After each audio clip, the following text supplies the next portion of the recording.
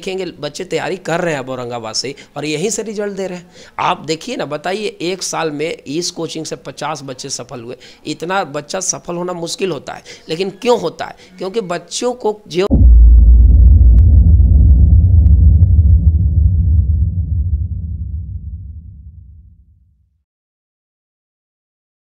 Hello everyone this is सौदा viewer and you are college notifier joining us today Amit sir who is the director of Virat classes in Aurangabad. So welcome sir in my College Notifier. चलिए बहुत बहुत धन्यवाद आपका।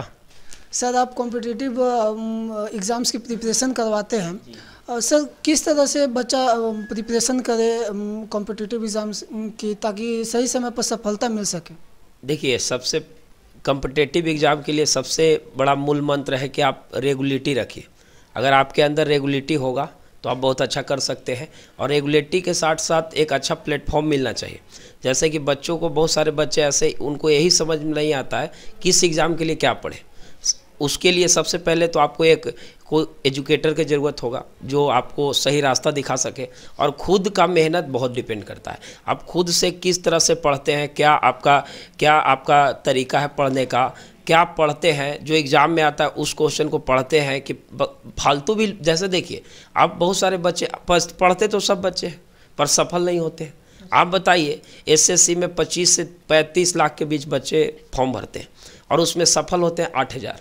आप बताइए, आठ हज़ार ही सफल होते हैं, पच्चीस तीस लाख जो बच्चे होते हैं, सब तैयारी करते हैं, लेकिन क्यों नहीं हो पाते? रीज़न ये है कि उन लोग सही डायरेक्शन में तैयारी कर नहीं पाता, और जिसके कारण वह सफल नहीं हो पाता। अगर आपको तैयारी करना है तो इसमें एक ध्यान रखना होगा कि पैसेंस रखना होगा, क्योंकि इसमें थोड़ा लंबा तैयारी होता है। और अगर आप लंबे समय तक तैयारी करेंगे, अच्छे से करेंगे रेगुलेटी रखेंगे सेट बनाना बहुत ज़रूरी है। अगर आप कंपटीशन का तैयारी करते हैं, सेट बनाने से क्या होता है? कि जैसे मान लीजिए आप किसी एग्ज़ाम में गए, आप सेट अगर बनाए हुए हैं तो आपको वहाँ बनाने का प्रैक्टिस होगा। और अगर आप बनाएँगे तो आपको वहाँ भी एग्ज़ाम में भी आप उसी तरह से बना सकते हैं, जैसे आप घर पर बनाते हैं। अगर आपको सेट बनाने का प्रैक्टिस नहीं होगा तो क्वेश्चन बनाने से एग्ज़ाम क्रैक नहीं होता।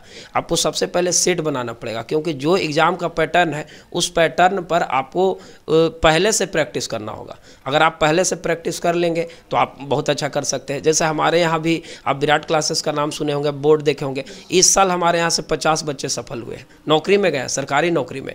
तो आप देखिए, और यही कारण है कि औरंगाबाद में आप पूछिए किसी से भी, विराट क्लासेस यहाँ पर अभी भी हमारे यहाँ सोलह से सत्रह सौ बच्चे पढ़ते हैं। आप समझ सकते हैं, दो स्टूडेंट से शुरू करके 1700 बच्चे तक का सफ़र तय करना कितना मुश्किल है, लेकिन फिर भी हम बच्चों पर बहुत ध्यान देते हैं। हमारे यहाँ का खास बात यह है कि हम एवरी सैटरडे और संडे टेस्ट रखते हैं। जैसे बच्चे नहीं चाहते कि उतना टेस्ट हो। बच्चे अगर, देखिए, आप बच्चे के मन से चलेंगे तो रिज़ल्ट नहीं होगा, क्योंकि बच्चे मेहनत नहीं करना चाहेंगे। और आप अपने मन से चलना होगा और सबसे कंपटेटिव तैयारी में एक बात ध्यान रखना है पैसेंस रखना ज़रूरी है। और आप सबसे पहले तो एग्ज़ाम नोटिफायर आप लोग को बहुत बहुत धन्यवाद आप आए।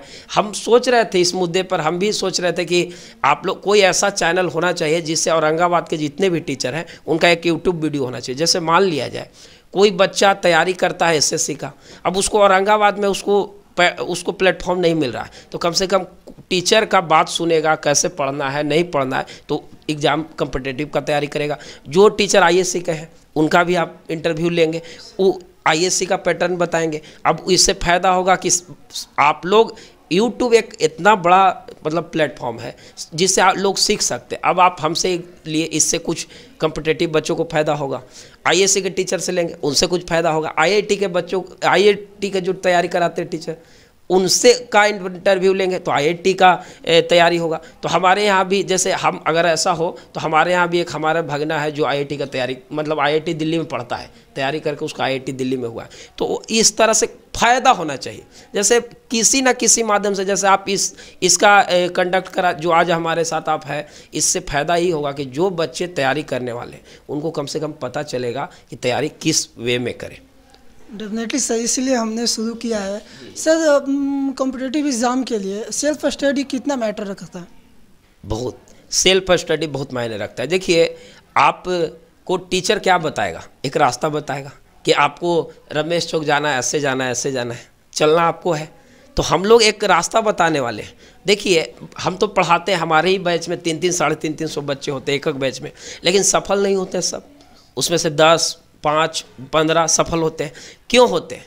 जो बच्चे सही डायरेक्शन में चले और साथ ही साथ अपने बदौलत चले, मेहनत किए, लगातार लगे रहे सेट बनाए, इसमें देखिए कंपटेटिव एग्ज़ाम अब चूँकि आप देख रहे हैं कि बहाली पहले की तुलना में अब कम हुआ है। जैसे आप देख रहे हैं कि बहाली भी कम हुआ है। तो बच्चे कर क्या रहे हैं कि अगर आप जिस तरह से सभी बच्चे पढ़ रहे हैं, आप उसे थोड़ा एक्स्ट्रा पढ़ेंगे, तभी आपका रिज़ल्ट होगा। क्योंकि आप देख लीजिए रेलवे का भी जो बहाली है ग्रुप डी का एक लाख पाँच हज़ार है। खैर, अभी तक का इतिहास में सबसे बड़ा बहाली है। उसमें बच्चे जो मतलब अप्लीकेबल है, अढ़ाई करोड़ बच्चे अप्लीकेबल हैं। एक लाख बहाली के लिए। अभी एनटीपीसी का एग्ज़ाम हुआ। इसमें पैंतीस हज़ार सीट था। उसमें बच्चे अप्लीकेबल थे एक करोड़ से डेढ़ करोड़ के बीच। आप समझ सकते इतनी जनसंख्या, और आप नहीं पढ़ेंगे तो रिज़ल्ट मुश्किल है। इसलिए पढ़ना पड़ेगा थोड़ा सा मेहनत। सर बहुत सारे स्टूडेंट जो है प्रिपरेशन करते रह जाते हैं बहुत लंबे समय तक। एटलीस्ट होता क्या है कि रिज़ल्ट नहीं मिलने की वजह से वो काफ़ी डिमोटिवेट हो जाते हैं और अपना रास्ता अलग चूज़ कर लेते हैं। किसी अन्य काम में बिज़ी हो जाते हैं। तो कहाँ पर आखिर गलती हो जाती है सर वैसे स्टूडेंट्स को? अभी हम आपको बताएँ बच्चे बहुत हैं पढ़ने वाले लेकिन सबका रिज़ल्ट नहीं होता। इसका रीज़न क्या है? इसका रीज़न ये है कि बच्चे को जो पढ़ना है वो नहीं पढ़ पाते। वो अलग डायरेक्शन में। देखिए, आप किसी भी चीज़ का तैयारी कीजिए तो पहले एक आप उसका रणनीतिक तैयार कीजिए, कैसे तैयारी करना है। जैसे मान लिया आप बिहार दरोगा का एग्ज़ाम की तैयारी करते हैं, आने वाले 26 दिसंबर को बिहार दरोगा का एग्ज़ाम है। तो आपको सबसे पहले ये देखना होगा कि बिहार दरोगा के एग्ज़ाम में क्वेश्चन किस सब्जेक्ट से और कहाँ से पूछा जाता है। सबसे पहला आपको रणनीति ही होना चाहिए पिछला बार का क्वेश्चन उठाइए। देखिए कि एंशियंट से कितना सवाल है मॉडर्न से कितना है इससे आप देखिए, फिर उसे मीडियन से कितना है, यानी बायो से कितना सवाल है तो इसके आधार पे आपको एक तरीका डेवलप होगा, तर, पढ़ने का। बच्चे क्या करते हैं, उनको जो टीचर जो किताब बताते हैं, वो लेते हैं, पढ़ना शुरू कर देते हैं। ये नहीं समझते कि उससे क्वेश्चन आएगा कि नहीं आएगा। देखिए, नौकरी लेने के लिए आपको जितना ज़रूरी है, उतना पढ़ना ज़रूरी है। जब आप मान लिया जाए कि आप कोई इतिहास के किताबें पढ़ने लगे पूरा इतना मोटा। उससे आपको क्या होगा? इतिहास तो जान जाएँगे, लेकिन केवल इतिहास का क्वेश्चन एग्ज़ाम में नहीं होगा। आपको जितना ज़रूरी, उतना तो ज़रूर पढ़ना होगा। जैसे, देखिए, मान लिया जाए कि अभी एक आने वाले समय में भी ग्रुप डी का एग्ज़ाम होने वाला है। अभी खैर, उसका नोटिफिकेशन आया नहीं है, लेकिन आएगा। तो उसका नोटिफिकेशन आएगा। अब बहुत सारे बच्चे को लग रहा है कि साइंस पैटर्न पर सवाल पूछेगा, क्योंकि पिछला बार जो, देखिए एग्ज़ाम कंडक्ट कौन करा रहा है? TCS पिछला बार भी टेक्नीशियन का एग्ज़ाम टी ही कंडक्ट कराया था, उसका पैटर्न ही अलग है। उस साइंस पर ज़्यादा फोकस करता है। तो बच्चे अभी से साइंस पढ़ रहे हैं। हो सकता है कि वहाँ पर एग्ज़ाम में इस तरह से हुआ है कि पैटर्न बिल्कुल अलग पर सवाल पूछने लगे। होता है कभी कभी बच्चे पढ़ते हैं साइंस इकोनॉमिक्स से सवाल हो जाता है तो गड़बड़ यहाँ पर हो जाता है। लेकिन केंद्र सरकार के बहाली में ऐसा अभी तक हुआ नहीं है। बिहार सरकार में ऐसा हुआ है। बिहार पुलिस के एग्ज़ाम ले बच्चे गए परीक्षा देने। क्वेश्चन पूछना चाहिए, बिहार पुलिस का एक पैटर्न है कि इतिहास, भूगोल, और ऐसा सवाल पूछ दिया कि बच्चों से सौ में तीस भी नहीं बन पाए। इतना मुश्किल हुआ। तो आपको पैटर्न पर पढ़ना होगा, जो सिलेबस है, पहले तो सिलेबस देखिए। पहला काम कंपटेटिव तैयारी करने वाले बच्चों को हम आपके माध्यम से बता देना चाहते हैं। आप किसी भी चीज़ का तैयारी कीजिए, पहले सिलेबस देखिए। और सिलेबस देखने के लिए आप यूट्यूब का सहारा लीजिए, नहीं तो आप गूगल पर सर्च कर लीजिए। सभी चीज़ का सिलेबस है। सिलेबस देखिए, उसके बाद सिलेबस में देखिए कि कौन सब्जेक्ट से कोई कितना सवाल आता है। उसके मतलब अकॉर्डिंग आप तैयारी अगर करेंगे तो आप बहुत अच्छा कर सकते हैं। सर बहुत सारे स्टूडेंट खुद का एनालिसिस किए बिना ही प्रिपरेशन करना शुरू कर, कर देते हैं। और होता क्या है कि वो डायरेक्टली बीपीएससी यूपीएससी एग्ज़ाम्स का बड़े एग्ज़ाम्स का प्रिपरेशन करते हैं। तो क्या स्टूडेंट और सफलता भी नहीं मिलती है। तो क्या स्टूडेंट्स को थोड़े छोटे लेवल के एग्ज़ाम जैसे ग्रुप डी से स्टार्ट करना चाहिए प्रिपरेशन करना या फिर डायरेक्टली बड़े एग्ज़ाम्स के लिए ही जाना चाहिए? नहीं जैसे मान लिया जाए कि अगर आपका फोकस बीपीएससी है तो आप ग्रुप डी का तैयारी मत कीजिए, नहीं कीजिए। लेकिन आप बेस आधार बनाइए। अगर आप एकाएक, जैसे बहुत सारे बच्चे क्या करते हैं कि छोटे से गाँव से निकलकर उनका आधार आधार बहुत कमज़ोर होता है। अब वो क्या करते हैं कि सीधे चल जाते हैं तैयारी करने बीपीएससी का। अब जब वो बीपीएससी की तैयारी में बैठते हैं, अब उनका जो संविधान का एक एक शब्द प्रस्तावना आ गया, अब उनको पता ही नहीं कि प्रस्तावना क्या है। अब उनको ऐसा ऐसा वर्ड आ जाएगा, उसको पता भी नहीं चलेगा। रीज़न है, क्यों नहीं पता चलेगा? क्योंकि वह आधार उसका सही नहीं है। आप क्या करें, जब भी अगर बीपीएससी का तैयारी करने जाते हैं, चाहे किसी भी हमारे पास भी बच्चे हैं, दो बच्चे का पीटी हुआ है।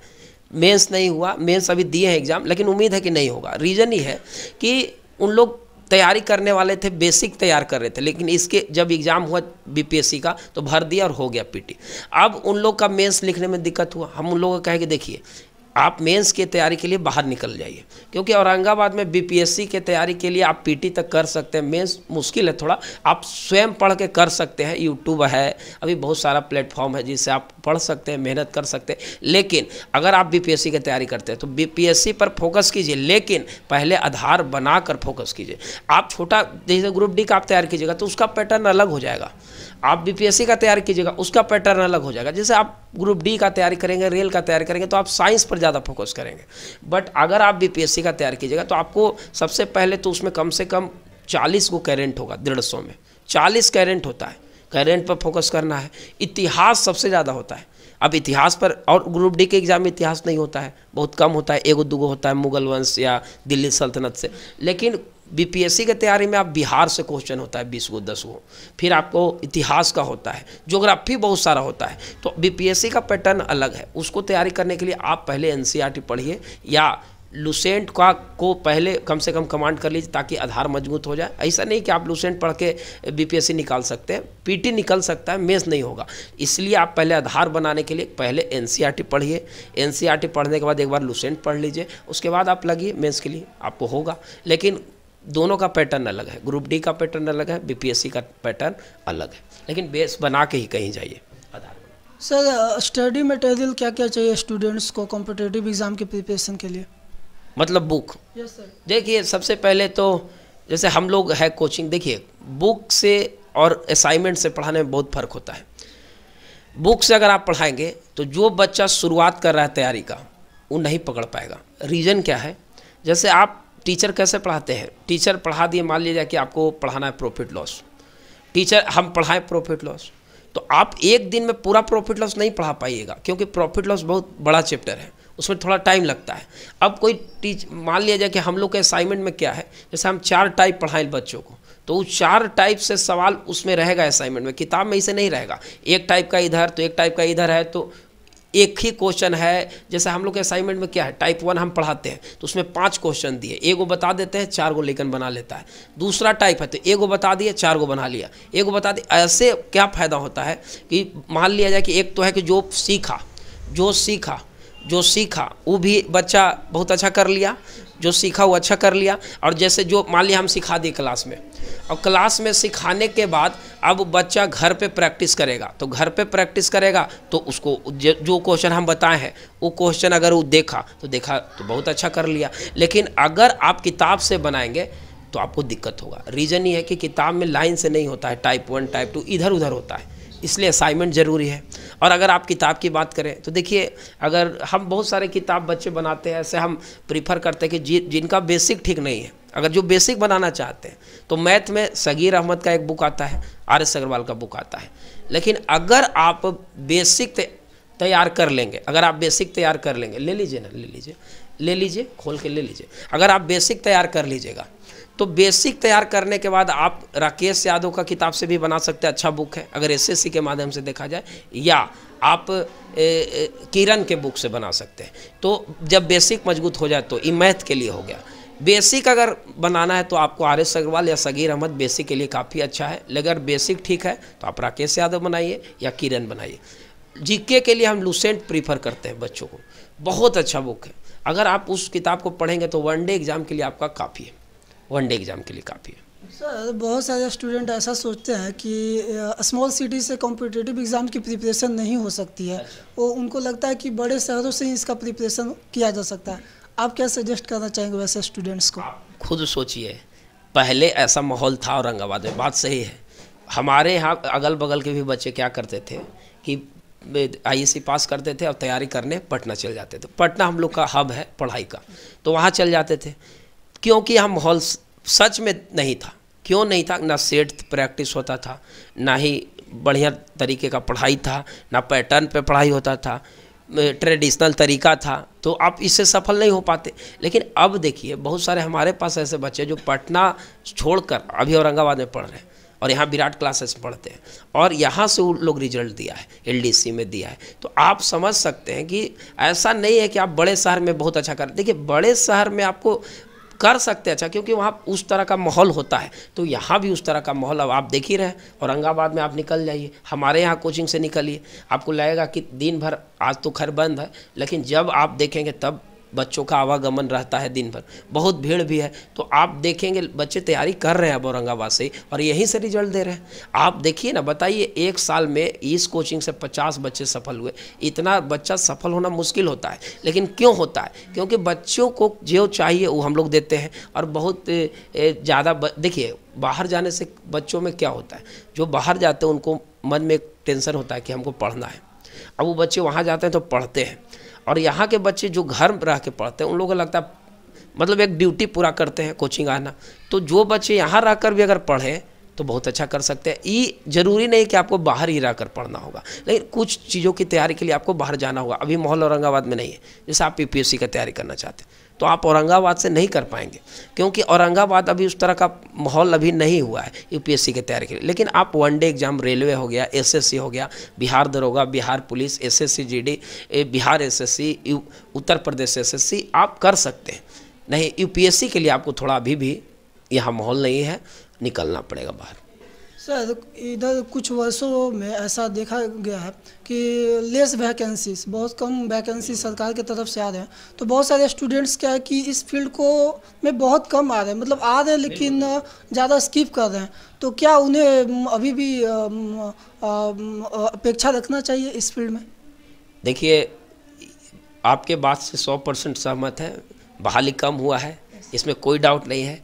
लेकिन बहाली बहुत कम हुआ है। चौदह के बाद बहाली बहुत कम हुआ है। जब से वर्तमान सरकार आई है, बीजेपी सरकार आई है, बहाली एकदम कम हुआ है। हुआ क्या कि आप चौदह से पहले जाइए। आप, हम नहीं बोल रहे हैं देखिए हम किसी पार्टी का न समर्थन करते हैं, न विरोध करते हैं। बल्कि हम हम जिस पार्टी, हम हम जिस से बिलोंग करते हैं, हमको फ़ायदा ही है। हम लोग को दस परसेंट आरक्षण का भी फ़ायदा मिला है। लेकिन ऐसा बिल्कुल भी नहीं है। देखिए, आप सोचिए, जहाँ चौदह के पहले आप जाइए, तेरह का बहाली हम आपको बताते हैं। एस एस एस सी सोलह हज़ार बहाली आता था। चौदह में सोलह सत्रह हज़ार बहाली। हर एक साल आप ग्यारह से जाइए। सोलह हज़ार, चौदह हज़ार, पंद्रह हज़ार, सोलह हज़ार। आपको मालूम है इस साल दो हज़ार सत्रह अट्ठारह इधर कितना बहाली हो गया? पाँच हज़ार, मात्र। आप समझ सकते हैं, पाँच हज़ार बहाली। उसमें भी बहाली में क्या हो रहा है दिक्कत? कि एग्ज़ाम सरकार ले रहा है, लेकिन ना रिज़ल्ट टाइम पे, ना ना एग्ज़ाम टाइम पे करा पा रहा है। रिज़ल्ट पीटी दे रहा है तो मेंस लटका दे रहा है। मेंस दे रहा है तो फाइनल मेरिट नहीं दे रहा है। मतलब बहुत एग्ज़ाम बहुत लेंदी प्रोसेस हो गया है एसएससी के खास करके। एसएससी बहुत अच्छा था। आप जाइए, पहले के आप देखिए एसएससी पंद्रह, चौदह के आप देखिए, उसका एकदम पैटर्न होता था। उसका एक कैलेंडर निकलता था कि अगस्त महीने में एग्ज़ाम होगा, सितंबर महीने में रिज़ल्ट आएगा, और अब दिसंबर, जनवरी तक आपको ज्वाइनिंग इतना बढ़िया था। इसको बर्बाद कर दिया गया, ख़त्म हो गया ये। अब ना एग्ज़ाम ठीक से। आपको पता होगा कि 2017 में यहाँ धांधली भी हुआ है, जिस पर जाँच बैठा सीबीआई का। तो ऑनलाइन एग्ज़ाम में भी धांधली हो गया। उस पर जाँच बैठा। जिससे जाँच क्यों बैठा? हुआ क्या कि सीजीएल का एग्ज़ाम हुआ और एफसीआई का एग्ज़ाम हुआ। दोनों का पैटर्न सेम था उस टाइम। हुआ क्या कि जो बच्चे सीजीएल में 200 में 170 80 नंबर लाए हैं एफसीआई में उनका नंबर है चार और पाँच। दस, पंद्रह, पचास। और वो ऐसे बच्चे सीजीएल में ला दिए 170 50 तो जब दोनों का syllabus same, math, reasoning G K G है तो दोनों का सिलेबस सेम होने के बावजूद एक में इतना ज़्यादा नंबर, एक में इतना कम नंबर। इसीलिए बहुत सारे बच्चे एस एस कमीशन को ऐसे 50 बच्चों का लिस्ट सौंपा था कि देखिए एफसीआई में भी पचास को मैथ, पचास को रीजनिंग, पचास को जीके और पचास को इंग्लिश है। और इसमें भी, सीजीएल में भी वही है, पीटी पैटर्न पहले था। अब तो खैर सौ हो गया। तो सेम एग्ज़ाम सेम पैटर्न तो एगो में बच्चा 170 ला दिया 200 में और एगो में ला दिया है 50 ला दिया 200 में। तो ऐसे कैसे हो गया? तो ऐसे ही सब 50 बच्चों का लिस्ट बच्चों सब बच्चे लोग सौंप दिए। तो फिर उस पर जाँच बैठा अभी तक जाँच चल ही रहा है। अभी कुछ देखिए क्या होता है। सो so, एटलीस्ट आप क्या सजेस्ट करना चाहेंगे अपने स्टूडेंट्स को ताकि वो मोटिवेट होकर इस फ़ील्ड में बने रहें और अच्छे से प्रिपरेशन करें और सफलता प्राप्त करें। देखिए इस इस इस लाइन में वही बच्चे हैं जिनके पास पैसेंस हो। अगर आपके पास पैसेंस नहीं होगा, आप इस लाइन में नहीं आए। क्योंकि अगर आपको पास पैसेंस ना होगा तो आप कुछ ना कर पाएँगे, क्योंकि थोड़ा सा टाइम लगता है। देखिए जैसे आई का एक सिलेबस है कि आप दो आर एस अग्रवाल का किताब बना ले, किसी तरह का बना ले, मैथ हो ही जाएगा आपसे। लेकिन इसका कोई सिलेबस नहीं। मैथ का तो सिलेबस है कि profit loss C I S I पढ़ लीजिए एडवांस मैथ पढ़ लीजिए, हो जाएगा। लेकिन जिक्के जी का बहुत सिलेबस है। जो मुश्किल है पढ़ना एक साथ। तो बहुत टाइम लगता है। तो इसलिए थोड़ा पैसेंस रखना होगा। जो भी बच्चे आपके माध्यम से सुन रहे हैं, उनको हम यही बात कहना चाहते हैं कि आप लगातार लगे रहें, मेहनत करते रहें और जो बच्चे लगे रहें, कभी निराश नहीं होते। एक चीज़ मान लीजिए, पाँच साल लगता है, दो साल लगता है, चार साल लगता है छः साल लगता है, हो ही जाता है। जो मेहनती होते हैं, वो जल्दी कर लेते हैं और जो थोड़ा सा पढ़ते हैं कि कल पढ़ेंगे, परसों पढ़ेंगे ऐसे बच्चों को थोड़ा टाइम लगता है। लेकिन लगे रहने वाले बच्चे कभी असफल नहीं हुए सफल होते ही। बहुत बहुत धन्यवाद अमित सर हमारे साथ जुड़ने के लिए और हमारे सभी प्रश्नों का उत्तर देने के लिए। चलिए आपको बहुत बहुत धन्यवाद आप सब लोग को आप आप लोग कैमरा मैन को आपको और इन सभी को बहुत बहुत धन्यवाद आप आए और इतना ए, मतलब अपना कीमती समय आज के समय में सभी लोग का समय बहुत मतलब मुश्किल समय है, लेकिन फिर भी आप इतने समय में आप हम लोग को समय दिए और हम अपने माध्यम से बताना चाहते हैं कि आपका जो चैनल है नोटिफायर इसको सभी लोग सब्सक्राइब कर लें और ज़्यादा से ज़्यादा शेयर करें ताकि आपको अच्छा से अच्छा टीचरों का अपना व्यू मिले और आप सभी लोग जो भी इस देख रहे हैं, हमारे माध्यम से भी, हमारे बच्चे जो है, आप लोग इनको सब्सक्राइब कीजिए और ज़्यादा से ज़्यादा चैनल को आगे बढ़ाइए ताकि औरंगाबाद में भी एक ऐसा प्लेटफॉर्म मिले ताकि ज़्यादा से ज़्यादा बच्चे घर बैठे एग्ज़ाम की तैयारी करें और अगर इनको आप समर्थन देंगे तो हम लोग भी आगे बढ़ेंगे, इन लोग भी बढ़ेंगे और इन लोग का चैनल के माध्यम से बहुत सारे गरीब बच्चों का भला भी होगा। चलिए, धन्यवाद। Thank you very much for watching this interview और आई होप कि अमित सर के माध्यम से आपको कम्पिटेटिव एग्ज़ाम्स के बारे में काफ़ी जानकारी प्राप्त हुई होगी। सो बने रही माई कॉल नोटिफाई के साथ। See you next interview thank you